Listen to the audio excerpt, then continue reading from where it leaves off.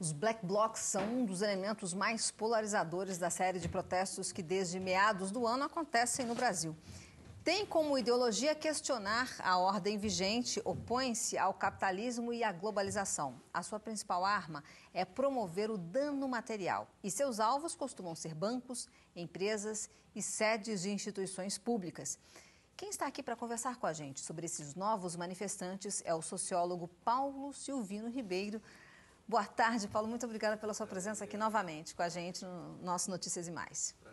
Ô, ô Paulo, deve estar todo mundo assim, como eu estou, uh, meio surpreso com esses black box, né? Porque a gente não entende exatamente o que, que eles querem, por que, que são assim. E irrita essa coisa da cara uh, coberta, né? Isso, a gente aprendeu que isso é, é não assinar, é não dar cara para bater, quer dizer, é sacanagem, né? Uh, então, quem são esses manifestantes chamados de black blocs? Olha só, Léo, eu acho que é, é importante a gente pensar, é, primeiro, que a cara coberta é uma forma de defesa. Uhum. Né? É, essa manifestação, aliás, esse tipo de manifestação começa lá na década de 80, na Alemanha.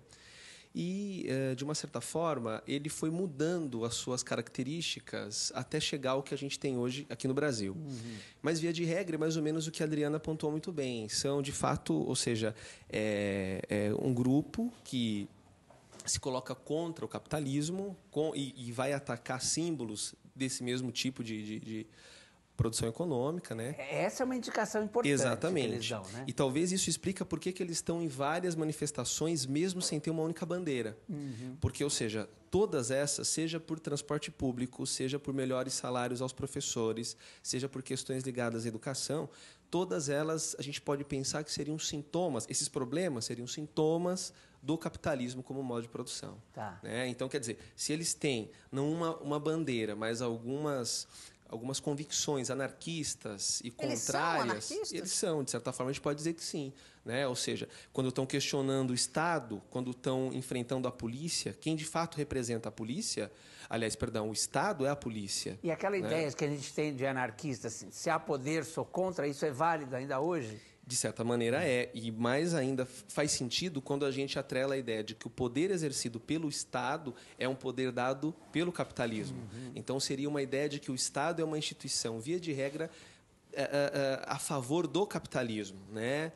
Claro que, do meu ponto de vista, isso é em partes verdade. A gente precisa pensar que existem, existem não só aqui no Brasil, como no mundo como um todo, políticas né, voltadas à distribuição de renda, etc. Predomina o capitalismo como modo de produção mas e até como ideologia, mas também se sabe que é preciso redistribuir a renda. Então nem tudo que o Estado faz, ou seja, é de fato pró-capitalismo. Isso significa que tanto o capitalismo como o comunismo uh, falharam, quer dizer, não deram certo? Olha, de certa maneira, entre os dois, quem venceu foi o capitalismo.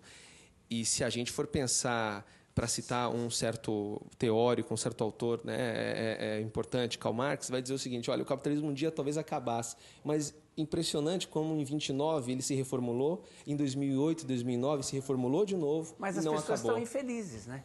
Elas estão infelizes, mas Independente elas... dos black né? todos estão infelizes. Elas né? estão infelizes, uh, uh, Leão, quando elas atrelam uh, o Estado a, a ideia de que ele deveria, ou seja, dar ou prover tudo aquilo que de fato precisam. Mas, por outro lado, do ponto de vista de uma ideologia dominante, buscam a felicidade, por exemplo, consumindo. Uhum. É inegável que os jovens, eu acho que é, é difícil especificar quem são os black blocs, a sua grande maioria, uh, talvez a gente pode dizer que sejam jovens da classe média baixa, das classes mais baixas, enfim, mas uh, todos, de uma certa forma, convencidos também, todos nós, acho que todos nós, de certa forma, convencidos sobre o consumismo, sobre a ideia de que é importante consumir. Isso é uma ilusão. É. Né? O consumismo é. é uma ilusão. Mas, de uma certa maneira, a sociedade capitalista está pautada nisso.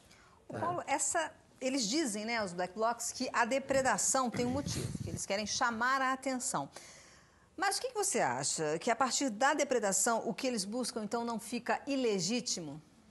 O problema, Adriana, é que, assim, fique legítimo dentro da ordem capitalista. Isso. Mas quando eles criticam o próprio capitalismo, eles constroem a legitimidade. Quer dizer, eu estou quebrando aquilo que eu não aceito. Então é legítimo fazer isso porque entendo que estes símbolos são os símbolos da ordem que me exclui. Talvez até que não me deixa consumir. É importante falar disso. Tem um outro importante filósofo, etc., o Bauman, que vai falar: olha, em 2009 a 2010 tinham jovens em Londres fazendo a mesma coisa, atacando lojas de, é, lojas de, de roupa, tênis, uhum. etc. E ele dizia: a questão não é só contra o capitalismo, mas é porque não faz parte dele. Os jovens não se sentem fazendo parte dele. Uhum. Então querem consumir também. É como se quebrasse porque estão excluídos. É muito polêmico, é, é, é, muito difícil, né? A gente vai ter vários pensadores que vão concordar num ponto, uhum. discordar de outro. Agora, se eu bem entendi a pergunta que você colocou, ou seja, há uma legitimidade para eles porque seria uma forma de questionar o próprio sistema. É, eu, aí que eu acho que o que tira um pouco a legitimidade, vamos dizer, é a cara, é a cara coberta, né? Porque se, se eles assumissem o que estão fazendo, né? nós somos contra o capitalismo uhum, e tal, uhum. e desse a cara para bater, claro que seria muito uhum. mais difícil. Concordo. Mas, né? Mas e outra é, é... também, por ser contra, eles têm o poder de destruir o que o outro tem? Pois é, porque quando a gente respeita é. o que o outro tem, é, um, é o princípio do, do direito à propriedade privada. É. E isso é o que legitima o capital, ou seja, é uma das coisas que legitimam o espírito capitalista, o direito, a liberdade, mas sempre ligado à propriedade privada. Agora é importante, Leão, dizer o seguinte: cobrem o rosto porque estão se defendendo de uma força que, embora sejam contrários, sabem que ela é mais forte. É. Só que para a democracia, que eu acho que esse é o ponto que você coloca, e eu acho que concordo contigo é. nisso, isso é contraproducente à democracia. Uhum. E do, do, meu ponto de vista, essa manifesta manifestação é importante. É importante porque mostra como o Estado é falido em muitos aspectos e como a sociedade capitalista realmente é excludente. É. Porém, para a democracia, e isso é importante, porque o Brasil pode ter várias mazelas sociais, mas nós estamos construindo uma democracia, isso é fato. É eu acho que não contribui. Aí pode ser até um romantismo meu, e, e, fico pensando naquela juventude dos anos 60 que deu a cara para bater, e que aí era, era de esquerda, quer dizer, era comunista, vamos dizer, Sim. ou socialista, Sim. e que se ferrou, né? Em bom português foi isso, né? Sim. né? Então, quer dizer, eles não, não querem repetir isso de uma certa forma, que é inteligente, mas ao mesmo tempo é injusto com aqueles, né? Que, mas você veja, né, né Leão, como que essas pessoas uh, na década de 60 que foram presas, torturadas, enfim, como a própria presidenta, a gente pode pensar o seguinte, passaram-se 20 anos, a democracia chegou. Ainda está em construção, mas a gente conseguiu avançar. Em 88 a gente tem uma Constituição dita pelo Ulisses Guimarães como cidadã. É. A cidadania ainda está em construção também, é. porque se ela estivesse plena, é discutível ainda, né, a gente não teria essas manifestações, porque há uma caristia generalizada de direito social, de uhum. direito político, enfim, né?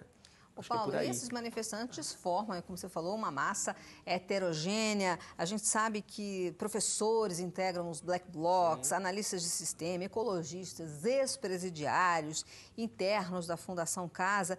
E a maioria conheceu os protestos através daquele grande protesto a, é, contra o, a favor do passe livre. Isso, em junho, julho. Agora, uma coisa é certa, o Estado não está sabendo lidar com os black blocs. O que precisa mudar? O Brasil ainda não está pronto para lidar com eles? Olha, eu acho que assim, o Brasil hoje, por ser a sexta ou sétima economia do mundo, é um país capitalista. Então é natural que se é, veja, não é um movimento internacional, até porque é meio questionável dizer que os black blocs são um movimento social. É questionável dizer. Pode dizer que é inspirado em. Sim, né? isso é uhum. é fato. Mas que é questionável enquanto movimento social, porque deveria ter uma bandeira, uma organização. Você veja que não tem líder, que não tem hierarquia, que não tem pauta de reunião, não tem nada disso. Eles se organizam e vão para a rua. Então, quer dizer, é difícil pensar como o Estado deveria lidar. Eu acho que, assim, o Estado tem lidado como lida muitas vezes, de maneira equivocada, contra a manifestação política, que é de maneira truculenta. Uhum. E é meio frase feita, mas é verdade, violência gera violência. Então, obviamente, os black blocs não vão para a rua para querer dialogar, é. vão para querer defender isso e a polícia estando lá, o choque é inevitável. É, porque uma, eh, se chamasse para uma conversa não haveria, provavelmente. Né? Pois é, é preciso pensar também até que ponto eles estão dispostos a isso. Porque, ou seja, como eu disse, é, talvez ser crítico ao capitalismo é válido e é uma, um posicionamento, digamos assim, do meu ponto de vista, valoroso. Mas é preciso pensar, então, alternativas, uhum. né? Talvez, se não para vencê-lo, já que a história mostrou que boas tentativas não conseguiram, mas para a gente amenizar os problemas, a desigualdade, etc. É, mas por meio é da política. radicaliza para um lado, radicaliza para o outro. Né? Exatamente. É. Complicado. Então tá bom. Olha, muito obrigada pela sua presença Imagina. aqui mais uma vez, Paulo. Agradeço.